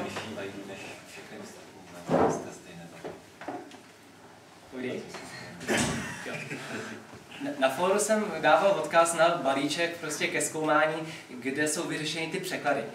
Překlad je takový, že máte vlastně nějakou hlavní tabulku a potom máte nějakou tabulku s těma překladama, tam máte ten jazyk a tu hodnotu a vy to musíte prostě, když to čtete z té databáze, vy to pak musíte nějakým způsobem spojovat a musíte potom že jo, vytvořit z toho jednu entitu. Zase, když to persistujete, tak to musíte rozdělit. A ještě je to řešení, které tam na tom foru ukazuju, je hezký v tom, že vy potom v té entitě si jenom pomocí nějakého příznaku jednoduchého řeknete, tenhle sloupec se prostě překládá, tenhle se překládá, tenhle se překládá, tenhle ne, tenhle ne a ten mapper prostě automaticky na to reaguje. No, uh, no povídej. A jak řešíš, když chceš jednu entitu v několika jazycích mít v paměti? No tak jinak čteš jako v více jazycích, tak prostě si třeba, jo, já jsem tam ještě dělal, uh, to je, to tam zrovna v té ukázce je, já tím, že se tam používá ten filtr, který jakoby může přijímat a ne, nemusí přijímat parametr, jo? třeba tak tam prostě ten filtr je postavený. Tak já třeba ten filtr funguje tak, že eh, se podívá, jestli prostě mu je explicitně řečený ten jazyk, jaký má použít. Když prostě jo, tak načte ty data v tom jazyce. A když ten jazyk nedostane jako parametr explicitně, tak on se podívá do jako entity, ze kterých se teda jako chodí, jo, ze který se prostě traverzuje, podívá se, jaký tam má nastavený ten jazyk a dodrží, že prostě načte potom ten jazyk. Jo. A já kdybych chtěl prostě, kdybych měl českou aplikaci, dejme tomu, nebo já nevím, českou stránku, a chtěl bych pro ní najednou načíst obsah prostě v češtině, v němčině a tedy, tak já dám prostě uh, get content uh, CS, get, get content DE, jo, můžu takhle, nebo jakkoliv jinak, jo? těch, myslím si, možností je víc. A když třeba ten jazyk neuvedu, tak se prostě použije ten jazyk, který je aktuální v té v page. Tak je třeba zrovna vyřešený ten příklad. Jako jak jsem říkal, ono je to hodně pružný, flexibilní. Jo? S těma parametrama těch filtrů se tam dá velmi, bych řekl, jemně, jemně jako pracovat a velmi efektivně pracovat. Tak, aby to nebylo prostě tak dlouhý, tak já už pomaličku se tak nachýlím. Co prostě dál bych tomu Lean ještě chtěl říct? Já jsem popsal nějaký takový jeho základní architektonický věci. Obsahuje takový, bych řekl, praktický uh, systém těch příznaků, který se používají v anotacích. Oni vždycky začínají na M a potom je tam nějaký název toho příznaku. Viděli jste třeba to has many, viděli jste tam to pass through. Dají se i svoje vlastní příznaky definovat, za chviličku vám ukážu, jak se potom s nimi dá pracovat. Obsahuje systém událostí, který se dá velmi snadno propojit s events ten systém událostí záleží, že jo, jak máte pojatý ten model. Někdo ho prostě ocení, někdo ho v životě nepoužije. Použije taková prostě tam vychytávka, která tam je. Je velmi, velmi podobná e, se systémem událostí v nete. Ta syntaxe je de facto převzatá z nete. Má třeba hezký rozhraní pro zprávu eh, takových těch klasických end-to-end vazeb, že já mám aplikaci a tam má nějaký tagy a teď já prostě mám naštěnou tu aplikaci a chtěl bych ji nějak hromadně prostě uh, přiřadit jiný tagy. Třeba z formuláře jsem to získal. Tak v podstatě ten Lean, Mapper má na to, bych řekl, takový hezký API, že třeba tam zavolám uh, replace all text a jenom tam dám nějakou že, kolekci, nebo i třeba jenom IDčka tam můžu dát, tak to si myslím, že je taková už jako syntaktická věc, že když to třeba potom provazujete s těma formulářema, takže nemusíte potom třeba, když vám tam nějaký multiselektu, že jo, uživatel nakliká, označí ty tagy, že nemusíte potom načítat všechny ty tagy, přidávat tam, nemusíte nějak iterovat, prostě mm, složitě, nebo nemusíte vytvářet ty tagy a dávat jim vazbu prostě na tu aplikaci. Ne, vy prostě u těch jednoduchých end-to-end vazeb můžete rovnou to takhle udělat. Co je další taková zajímavá věc, a která si myslím, že má obrovský přínos, to je tam třída mm, Entity Reflection. Eh, Je to vůbec celá tam ta část věnovaná reflexi v tom Lean jo? Eh, V tom Lean existuje jmený prostor eh, s různýma reflexema. A k čemu to je dobrý? Jo? Já tadyhle ukážu. Uh, reflexe té entity je taková, že se dozvíte, jaký má ty položky. Plus ještě nějaké další věci, ale hlavně se dozvíte, jaký má ty položky. A každá ta položka je reprezentovaná zase další, jako reflexí. A to už je nesmírně zajímavý, protože vy máte tadyhle uh, nějakou jako instanci potom a vy zjistíte třeba, název ty položky, na jaký sloupec se ma- mapuje, pokud na nějaký, jestli prostě ta položka obsahuje kolekci nebo jednu hodnotu, jestli má nějakou defaultní hodnotu, pokud ano, tak ji má, jakýho je typu ta položka, jestli je ten typ jako základní, jestli je zapisovatelná, jestli může obsahovat null, jestli udržuje nějakou vazbu, že jo, ta položka, Pokud ji udržuje, tak že tu vazbu můžete potom si načíst. Zase ta vazba je, je reprezentovaná další reflexí, ze které si můžete natáhnout názvy těch vazebních sloupců a td. a. Tohle to má obrovský význam v tom, když prostě chcete nějakým způsobem, uh, bych řekl, co nejméně psát a mít nějaký hezký model. Já třeba mám model takový, že mám nějaký query object, a já v podstatě si vytvořím nějaký query object, tam prostě řeknu, hele, restrikce budou takovýhle, prostě položka, name musí prostě začínat na tohle. Eh, Položka prostě, já nevím, eh, created musí být větší než daytime a tedy. A já potom repozitáři prostě předám tenhle ten, eh, tenhle ten query object a chci prostě, aby mi vrátil entity, které to splňují. Co ten repozitář dělá? On prostě dělá to, že si jako získá tu reflexi, ty entity, se kterou pracuje, a on si projde všechny položky, teď najde tu položku, podle které se jako dělá ta restrikce, on zjistí, že se mapuje na tenhle ten sloupec a proto si prostě poznamená, jo, v tom SQL prostě bude muset být takováhle podmínka, že tenhle sloupec musí to, toto, bla, bla, bla, takhle to sestaví a spustí a výsledek je na světě. Takže s těma reflexema se v tom LeanMapu dá velmi, bych řekl, velmi dobře pracovat. Je to silný nástroj. Samotný LeanMapper ty reflexe, ty entity a těch položek využívá úplně všude. Že jo? On když prostě uh, přistoupíte k nějaké položce, uh, tak on vlastně jede přes tu reflexi, zjišťuje a zjišťuje, co v ní jakoby má být, na jaký sloupec se to mapuje a teda a teda. Já bych tady chtěl ukázat třeba, k čemu ještě, to je taková uh, hrát, hříčka, kterou znáte třeba z doktríny. Jo? Tohle to je skript, který vlastně my v nějakém uh, adresáři jo, uh, pomocí robot loaderu prostě najde entity a pro, projde prostě ty entity a získá si tu reflexi ty entity, bla bla bla, bla bla bla, projde ty položky, jaký ta entita má a teda a teda a když ho spustím, tak výsledek je takovej, že mi prostě vygeneruje SQL, který mi prostě ty entity v databázi vytvoří, jo? Takže třeba to, co znáte z doktríny.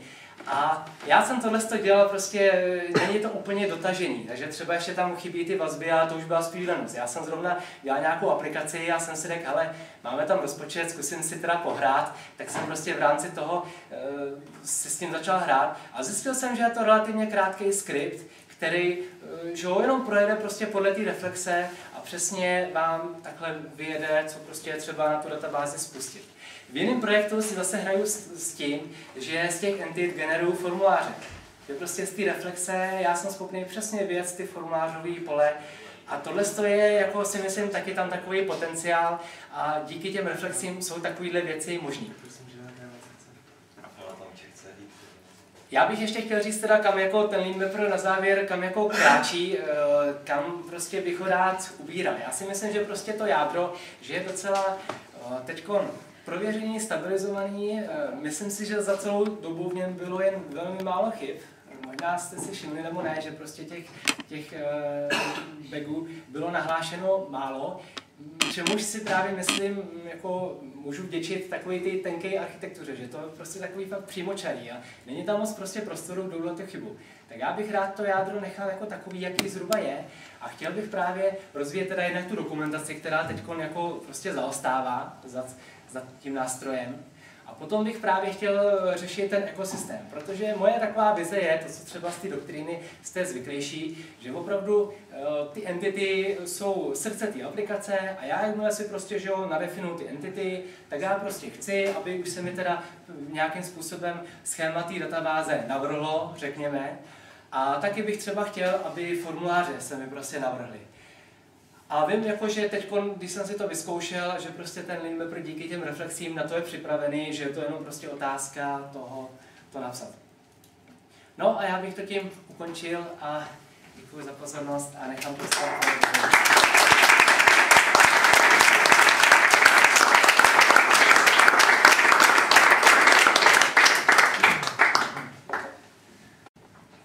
Nějaký dotaz? Kde najdu ten skript na to vytvoření ty databáze? No já tohle to, já to poladím. Já ti ho klidně jako počtu, to je prostě, já tam zatím nemám ty, nemám ty Jo, jo, vazby, ale to je jenom proto, že prostě jsem byl jako líný, že jo. Tam jde jenom o to, eh, si prostě, když narazíš na položku, která má, má, má tu vazbu, Jo, takže jo. musí ji nějakým způsobem speciálně eh, jako naložit, jo. A já jsem potřeboval potom už trošku se věnovat něčemu jinému. Já ti to klidně pošlu, jak to teď vypadá. Tak to zatím dej taky, jestli tak. Tak jo. Spíš se mi líbí to generování těch formulářů. Že mám prostě nějakou jako Jakým form, způsobem generování myslíš? no, že já mám prostě nějakou form faktury, který já prostě předám reflexi ty Takže myslíš sestavování? No, se, ne jako Jo. generování a sestavování. Já mám Jo, já prostě jsem si nějakou, právě lekal, že generuješ kód. Ne, ne, to jako zatím ne. že já jí vlastně přidám tu reflexi a ono si prostě opere na položky a zjistí, že jo, přesně co tam má teda dát za, za vstupy a, a ono by to prostě šlo, že by tam i ty vazby, že byly prostě podchycený. Že by to umělo úplně v pohodě um, přičíst třeba defaultní hodnoty, jako principální omezení tam nejsou. A myslím si, že třeba zrovna tohle by aspoň mě osobně obrovsky ušetřilo potom čas, protože to datlování těch formulářů mě docela už taky jako lidí, no, to už radši píšu tu databázi než ty formuláře. Můj dotaz? Je nějaká šance, že to někdy bude mít identity map? Ale ono to je jako šance nešance, jo. To je, já jsem to. já jsem si řekl, ukončil Jsem to. Uh, já bych chtěl říct, jak se prostě ten mapper uh, chová Další jo, v téhle ty otázce. Tadyhle je taková, myslím si, fakt hezká cache vymyslená. Vy, když z tohle z toho resultu prostě přistoupíte k tomuhle, tak se jednou prostě získá, eh, pamatuje si ho to v paměti a když tam příště přistupujete, tak už prostě se to nečte z té databáze. Když byste spustili Kdybych šel autora zpátky na tu aplikaci. tak se ti načnou. To jo.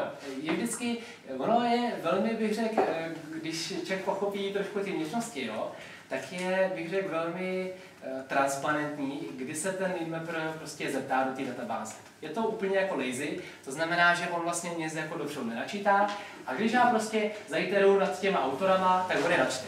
Když potom ještě zaiteruju nad těma autorama, pak ještě třikrát, tak on už prostě ten result jako má, udržuje si a neračte ho. Jo? Pakliže bych třeba tam používal nějaký filtr a změnil bych parametr toho filtru, jo, tak zase ten Inmapper prostě si sestaví nějaký ten otisk z toho, jo, jak si tu cache prostě řeší a zjistí, že ty data vlastně takovýhle nemá, tak pak zase musí prostě načíst ten další result. A zase, když ten filtr znovu zavolá s těma parametrama, tak on si ho jako pořád prostě pamatuje, už se do té databáze neptá. Jo. Já třeba na té klasické identity mapě já si myslím, když jsem jako nad tím přemýšlel, já prostě si myslím, že to je principiálně téměř neskloubitelný s tím, jako notormovým čtením. Nevím, možná se pletu, je to možný, docela jsem se s tím jako hrál. Uh, praxe ale ukázala, že tohle aspoň moje praxe a nikdo si na to prostě neslyžuje, jsou to spíš takový akademické připomínky. Jo? Praxe ukázala, že uh, to je taková trošku zbytná věc, jo? že tahle ta cache je, myslím si, zásadní. To je prostě jasný, když uh, takhle traverzuju. tak o výkon, ale spíš o to, že když změním, že když mám prostě v paměti dvě entity odkazující na stejný ID a jednu upravím, takže ta druhá se bude... No, představ si, že ty třeba nějaký jsem jako... říkal, a to je přesně problém, který nikdo nemá. Já ho mám, naprosto reálně. Ale já, já třeba tomuhle problému teda přiznám se nečelím, jo. Myslím si, že potom už jako to závisí na, té, na tom modelu, na té architektuře nad tím, jo. Uh, myslím si, že ta identity web má zase své stinné stránky. Jo. Představ si, že ty prostě pracuješ s tou entitou a něco si do ní dáš, jo.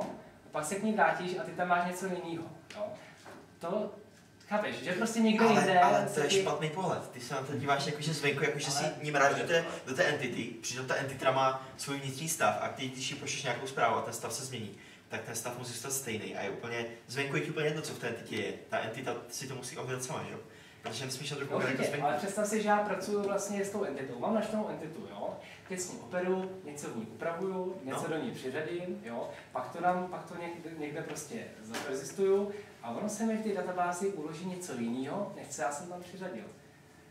Jak by se tě No proto, protože e, ně, někde se třeba odehrála nějaká událost, nějaký, e, nějaký pre, preperzist, jo?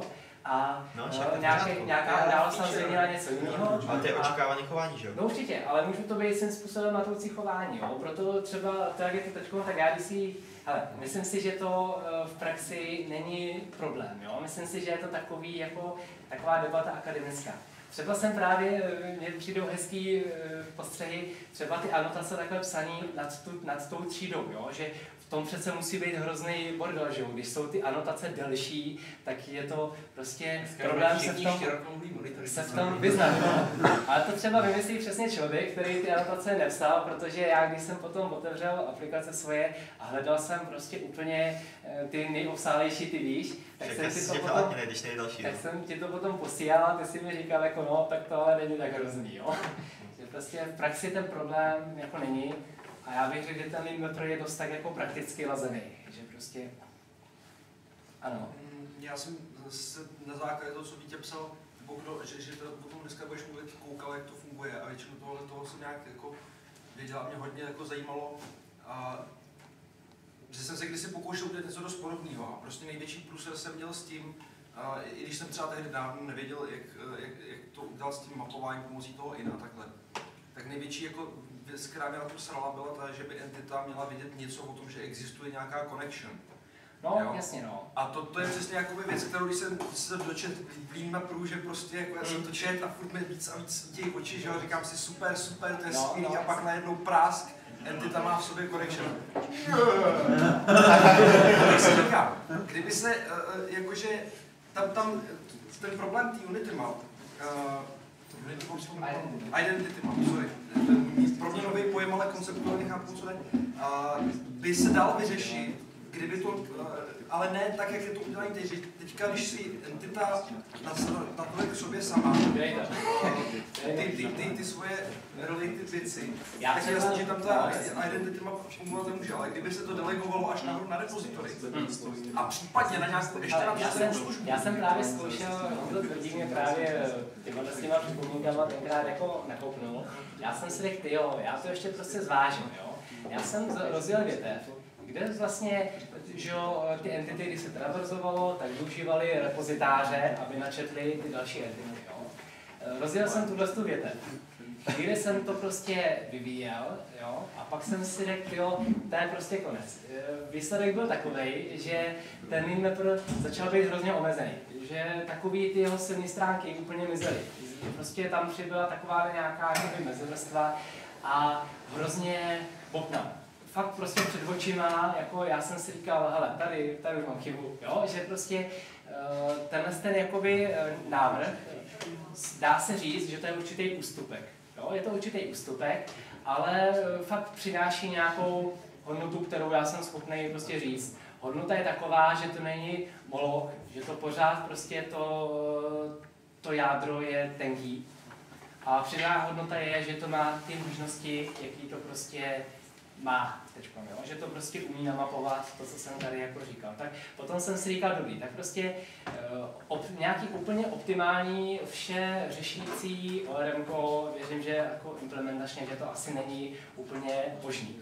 Vždycky prostě je někde nějaký kompromis. Já jsem si řekl, dobrý, ale je tady doktrína, která prostě uh, implementuje klasický, bych řekl, takový postup, jo, já jsem si říkal, je dost vyspělá, nebudu dělat prostě přímou konkurenci tomuhle, Uh, já to jako svým způsobem uznávám, tu doktrínu, že jo, jenom prostě ji jako nepoužívám. Řekl jsem si, hele, uh, nebojím se udělat alternativu a prostě uživatel nechci jako vybere, co prostě je pro něj uh, lákavější.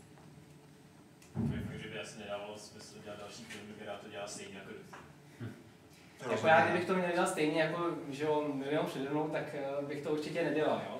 Já jsem fakt prostě, uh, se mi to nějak zrodilo v hlavě, jak by to mohlo fungovat.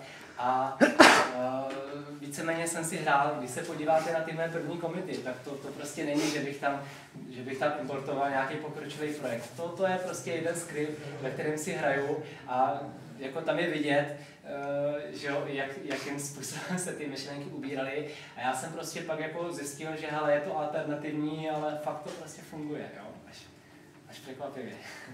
Jak tě inspiroval Nete Database?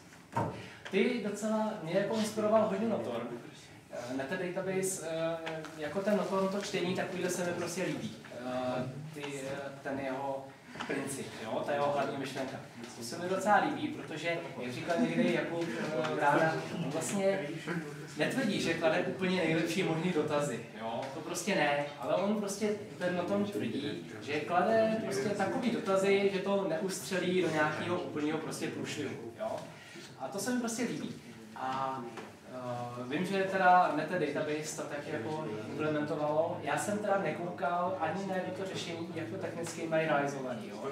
Úplně stejně. Já jsem... Result je uh, Database Table Selection, Arrow je... No, vidíš, tak já jsem na to jako fakt nekoukal, protože jednak jako, jako Bobo Code je pro mě třeba hůř čitelný tím, že prostě eh, je specifický, jo. Velice politický výraz. Ten meta database, jako, ten jsem zase neskoumal, protože to bylo v době, kdy fakt ta knihovna byla zabagovaná. Jo. A mi přišlo skoro, že tam jsou takový prostě koncepční problémy, tak jsem si říkal, no tak prostě, nedej bože, abych takový koncept, že jo, jako přejel, jo. Tak jsem úplně prostě šel na to poprtě a tímhle s tím jakoby notorovým čtením jsem úplně jako začal ten vývoj, že jsem prostě experimentoval, uh, jestli prostě ta moje implementace bude fungovat a jako to nějak to dopadlo. No, máš tam nějakou jako magii, když potřebuju od někaž z té aplikace si získat jako ty entity, tak jako find by, já nevím, název nějakých sloupečků a tak dále. Jo, ale to tohle je právě, musím jako psát ručně. Tohle si myslím je téma prostě jako další, který by vydal na přednášku, prostě architektura modelu nad tím lean maprem. Jo. Tam prostě já třeba mám nejlepší zkušenosti s konceptem, kdy model je fakt uh, dokonale zapouzdřené, co si, co má jasně daný veřejný API, jo, jasně daný veřejný API a z toho modelu prostě lezou entity nebo nějaký kolekce entit nebo skalární hodnoty. A do toho modelu víceméně vstupuje to samý, jo? To je prostě model. A tohle já si prostě injektuju do těch prezentérů a do toho všeho, jo? Uh, API toho modelu je prostě use case orientovaný.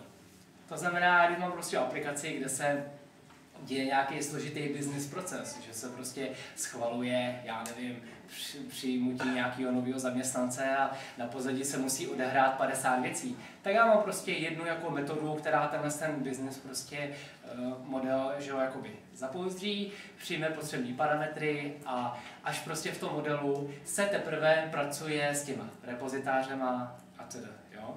A já třeba potom ty repozitáře, já mám vlastně v aplikaci, já tady nemůžu ukázat nějaký hrozně jednoduchý repozitář. Já to zkusím tu du. Třeba v tomhle tom, jestli to tady nemám. Jestli to v tomhle tom už mám, tu du. Aha, to tam, toto nahrávání obrazovky mi tady koliduje klávesové zkratky. Jo, hele, já mám jako ten repozitář, jo, úplně prostě jednoduchý, že umí najít tu eh, entitu podle IDčka, umí najít prostě všechny, jo, a umí prostě najít entity podle toho uh, query objektu, jo.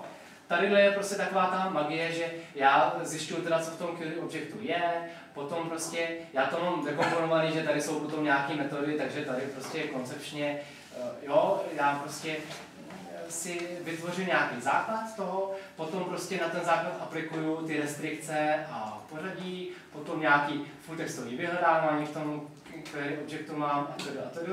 Tady se to reálně děje a tady se právě pracuje s tou reflexí. Jo?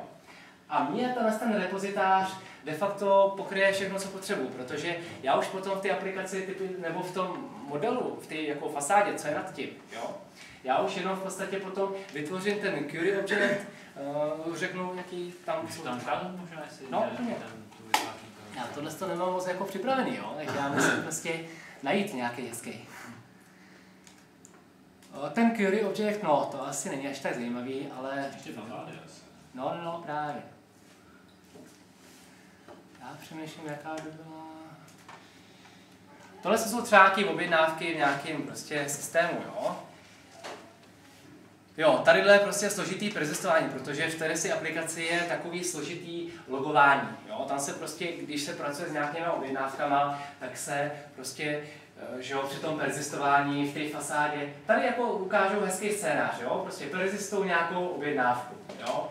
Já musím teda při tom persistování, pokud přijde nová objednávka, to znamená, že prostě není jako připojená, tak musím teda eh, že jo, přiradit nějaký čas, kdy byla přijetá, jo, nějaký výchozí stav. Samozřejmě tohle nějaká konstanta hezká by mohla být, že jo, ale to je jedno.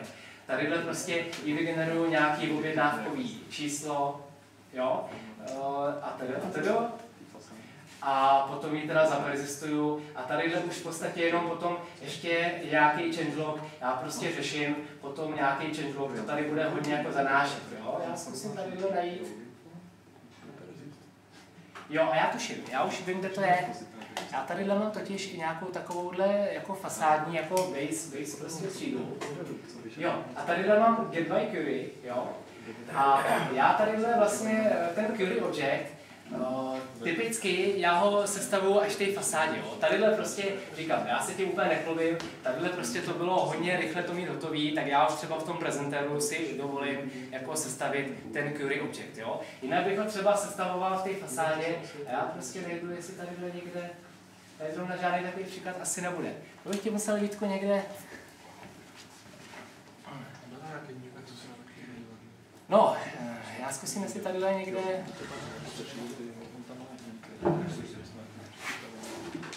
Jo, ale to je, to je třeba tohle ono. Já prostě chci objednávky, jo. Tohle to je prostě v té fasádě. A já mám pojmenovanou prostě objednávky, tu fasádu, jo. A já tam mám nějakou use case metodu, prostě, že chci, že chci uh, nějaký objednávky pro nějakého, pro nějakého konkrétního uživatele, jako ke kterým mám prostě právo a podle nějakého prostě filtru, to není ten name filtr, ale to je filtr nějaký prostě nastavení, nějaký tlačitel, jo. Já si vytvořím ten query object, pak prostě uh, si tady se sbírám nějaký uh, restrikce, uh, potom se podívám, ten filtr je pole, uh, to je nějaký formulář, ten filtr, jo. Uh, potom si vlastně sestavím ty restrikce, je tam nějaký full textový vyhledávání. V tom, filtru, v tom filtru určitě nad tím, nad, v tom data gridu prostě je, že tam zadám nějaký, že to má obsahovat prostě výraz a tedy, jo. Tak já prostě tadyhle nějakým způsobem do toho query objektu řeknu, že tohle to bude asi to, že se v těchto z těch sloupcích prostě má hledat uh, nějaký, ten, nějaký to klíčový slovo. Jo? A když prostě uh, nějaký restrikce jsem se sbíral, tak prostě zjistím ty restrikce. Jo? Pak tady vlastně uh, já ještě uh, nějak si to seřadím, uh, udám si nějaký limit offset, a potom vlastně z toho repozitáře si vytáhnu vlastně ty entity, které odpovídají tomu, které prostě splňují uh, ty jako podmínky, které jsem na to prostě kladl a jsou ty podmínky nějak objektově prostě vyjádřeny. Jsou reprezentované tím query objektem. A potom vlastně ještě mě zajímá nějaký celkový počet kvůli stránkování. Já vytvořím, tohle je kvůli tomu stránkování, já vytvořím nějaký subset, tomu já prostě říkám vlastně část eh, že já na jedné stránce chci prostě zobrazit, že jo, jenom 10 objednávek, ale chci stránkovat, chci vědět, kolik jich je. Tak já prostě udělám subset, eh, do ty ty entity, poznamenám si, kolik tam dohromady je, kolik jich je v tom subsetu a prostě jaký je ten offset, jo. A já ti ukážu teda ten, eh, ještě najdu ten prezentér, jo, jestli ho najdu. Tadyhle by to někde mělo být, když mám to find. Tady byl, jak se to jmenovalo? Ne, to bylo tadyhle. Get subset. Myslím si, že to bude v tom... Ne, tak najdeme...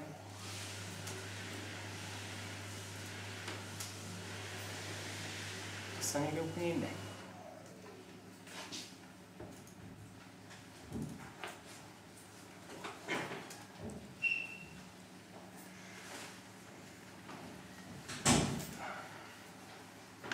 Jo, to si mě zastih ne, nepřipravený.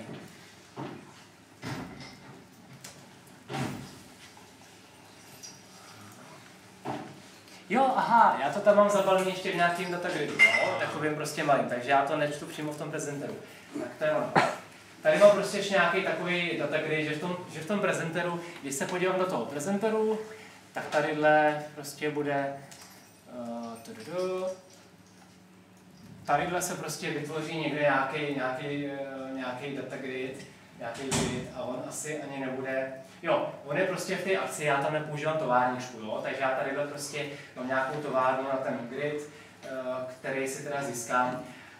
A ještě tadyhle nějaký prostě downloader. Ale co je tadyhle teda v tom, v tom gridu, tak jak se s tím modelem pracuje, ten grid prostě dostane orders, jo? Ten dostane prostě nějakou část toho modelu, se kterou může pracovat. A když se to renderuje, kdyby to mohlo být, jo, tak já tady vlastně uh, udělám, že já teda nastavím si že nějakou šablonu, nějak si inicializuju ten, ten stránkováč a tady vlastně komunikuju s tím modelem a já chci prostě ty objednávky pro toho uživatele nějakého, uh, ten filtr, že jo, zase se tam dostane eh, z nějakého formáře zvenčí, jo, což ale teď není podstatný.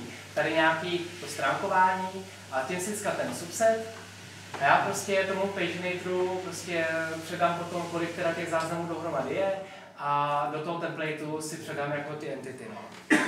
A takhle v podstatě potom teda v tom prezenteru nebo v nějakých eh, kontrolách ty de facto voláš, eh, interaguješ s tím modelem jenom takovým jako use case způsobem a to se mi prostě líbí. Mně třeba se líbí, že takhle třeba navrhuješ nějaký restový API, že ty tam prostě nemáš jako automatické metody pro všechno, jo, pro čtení všeho, ty tam spíš máš většinou nějaký prostě use case zlazený metody s nějakýma jasnýma parametrama a takhle já se prostě snažím ty modely jako mít.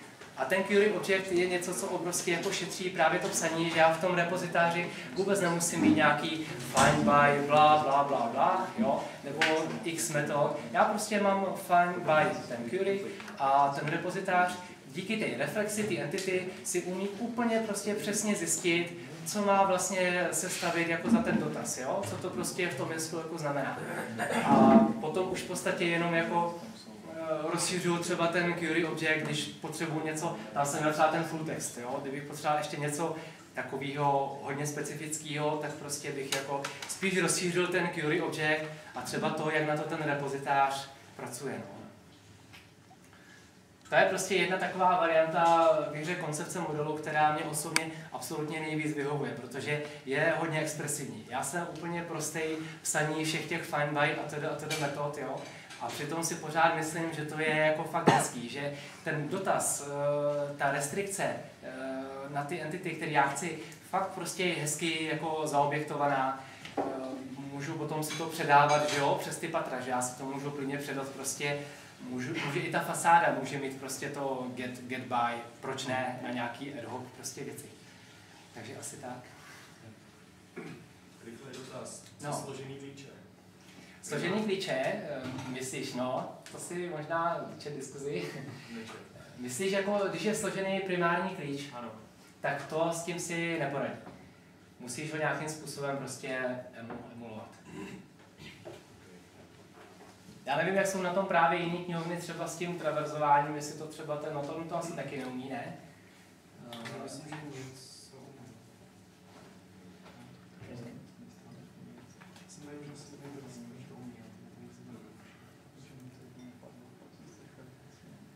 Já to umím, ale ještě jsem to nepoužil. No. Jo, jo. Já jsem měl právě dojem, že, jsou, že to jsou věci. eh, Třeba ten složený primární klíč je podle mě věc, která ti ten systém strašně zesložití.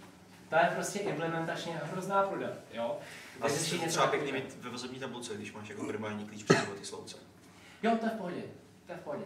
Tam jenom prostě, eh, tam je jenom jako, že ta, že ta entita samotná nesmí mít jako to ID, to jo, rozlezlý přes víc. eh.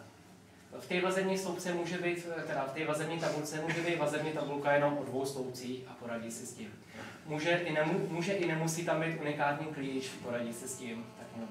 Já právě ty složené klíče, pro mě to ani nemá prioritu, protože, jak říkám, je to něco, co ten návrh hodně poznamená ze složití. Eh, Je to pak potom prostě jenom o tom natáhat si tam nějaký bugy, jo, pak se v tom topit. A myslím si, že ten přínos toho je prostě takový relativně malý, jo, že už je fakt snaží si tam prostě ten primární klíč udělat umělej do té tabulky. Ani to nikdo prostě není to něco, co bych denně slyšel od lidí, jo, jo že to má složený klíče. To je zase taková akademická.